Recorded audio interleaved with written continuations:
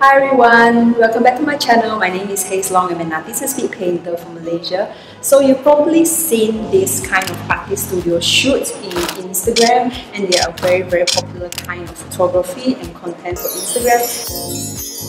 This kind of content has been doing very well on my Instagram channel and today I would just like to show you guys how I style the photo shoot and how I plan the whole thing. So let's get started and then I'll see you right after the jump.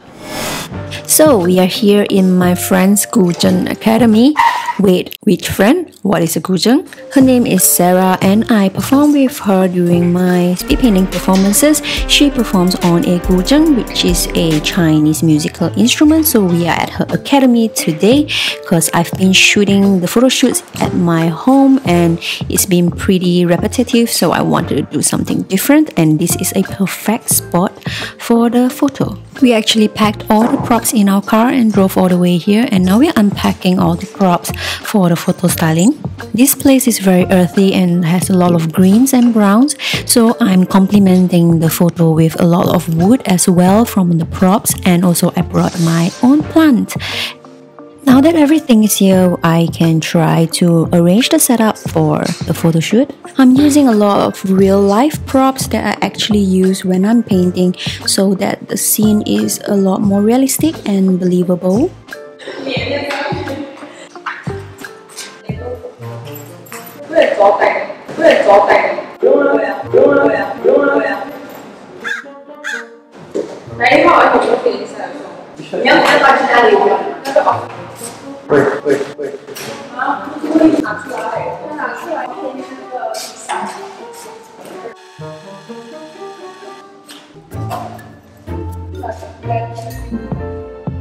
Once most of the props are in, it is time to set up the camera and see how it looks like in the camera.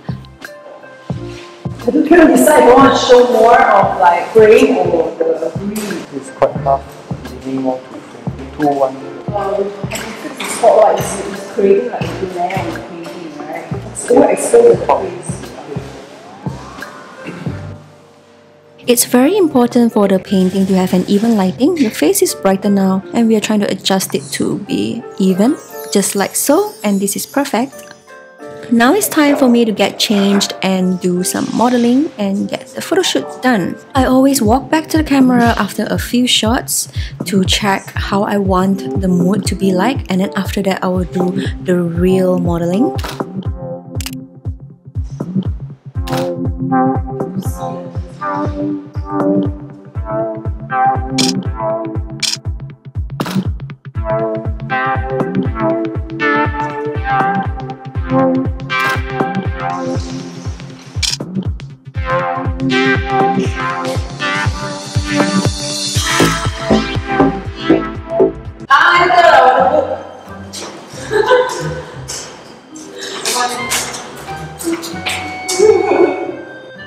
Slim 到了。哎呀，你这是贴 sticker 吗？要穿 new bra 吗？哦呦，哎呦！人家你家猫你的 I was very very tall like this. Uh, 你的 new bra 对 Where's like this? Ah.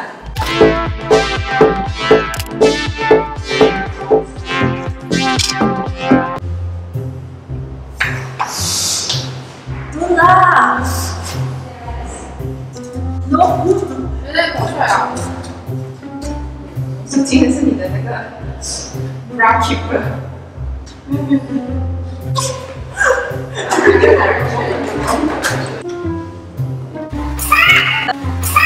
not work. Try it. See what happens. Yeah, after trying a few rounds of dry run, now comes the real part, which is turning on the fan and trying to get some movement in the garment and then posing with this setup. For the posing, I try to keep them as natural as possible because I am not trying to show that I'm a model.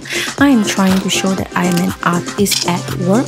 So there is a huge difference there. All the materials, tools, and equipment that you use for your art project can be used during the photo shoot as it lends a sense of believability to the scene.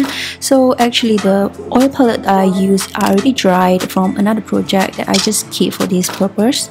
Even if you're not a model, you can just pretend to be looking for things, painting, fixing the painting, and also just walking around and interacting with the environment. We actually forgot to remove the leather and it's in the photo but I can just crop them out or use one of the old photos to replace them later because I usually tend to shoot for one angle only. I do not shoot multiple angles in my photo shoot. So it's not difficult to have a good photo shoot. It just takes some time and planning. you Gotta invest in some of the props and also the apparel itself if you really want it to look good. So at the end of the day, we are just unpacking and trying to bring everything back home. And then after this, I'll show you how I edit my photos. I like to use Photoshop when it comes to editing my photos and the first thing that I'm doing is bringing up the actions window. We are going to create an action that we can apply to all the photos. I'm gonna call this action Mona Lisa and then I'm just going to hit the record button. Usually the first thing that I'll do is adjust the curves to give it a brighter look. I also like to have some brightness in my shadows. Then I also adjust the color balance to try and fix some colors. This time I want the greens to pop out more so I'm trying to make it colder. Next I'm gonna use the hue saturation tool to adjust the color a bit more. I usually use this tool to adjust the saturation because after using the curves tool, the colors can get a bit too strong so I'm trying to neutralize it. Once it's done, I stop recording and then I open a bunch of files to test the actions and see if it works. To check, I just hit play and see it play out and then once I realize that it works, I am just going to add one more action which is to close the document. So I can just um, press play on every single photo and they will apply all the edits that I've done so far. So by just clicking one button, I can just quickly edit all the photos and they are all done quickly already. So I'm repeating this for all the files and then after that I'll do the heavier editing. I've also selected a couple of photos that I really want to use them. They are all labeled in red. So I'm just going to open these photos in Photoshop and I'm going to seriously edit them for this photo, the letter is showing, so I'm copy pasting another photo inside and using it to replace that part of the picture. Next, I will need to crop the picture and for this photo, I decided on using a square ratio. You can also use a 4-5 crop if you're doing a portrait photo. This is the only portrait ratio that Instagram accepts at the moment. Next, we're gonna use the filter liquify tool to push some skin and some fats around depending on what I like because it's my photo. My dress also has an inner dress liner that is quite visible in the photo so I need to stamp that out. By stamping this out, the dress will look a lot more expensive. Also, I am trying to get rid of the wrinkles in the sleeve because those parts seems a bit crumpled. Next, I will fix any skin defects that I want to hide. Then I would duplicate this layer and then for the new layer on top, I would actually make it a lot lighter.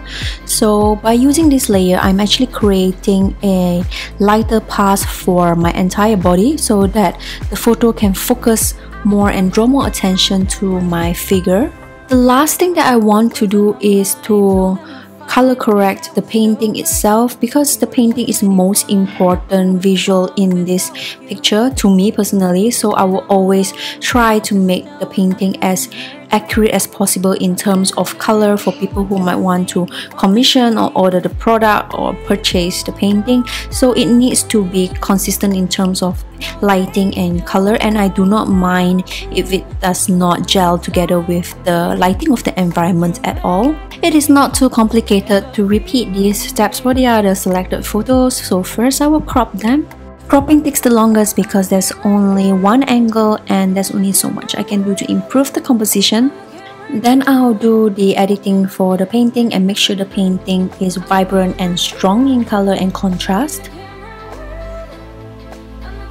I'll liquefy my body in the photo to get a better proportion. Remember when you are doing liquify for your body, you can sometimes walk the environment like the leaves or tiles or the floor. You need to restore those areas back using the history brush or else people will be able to tell the difference when they look at your photo. And then after that, I will edit away all the wrinkles and crumpled um, fabric and also to make it more luxurious and shape the fabric better. Sometimes I will intentionally make certain areas darker to better model out the form of the figure. So like here I've made it darker so that I would stand out from the shadow and it made me look slimmer.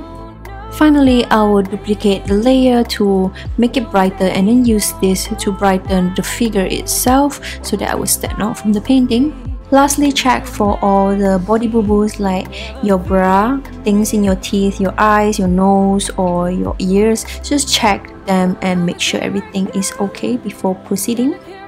Okay guys, thank you so much for watching. I hope you guys have fun and learned a lot during this very very short video of how I style my photo shoot.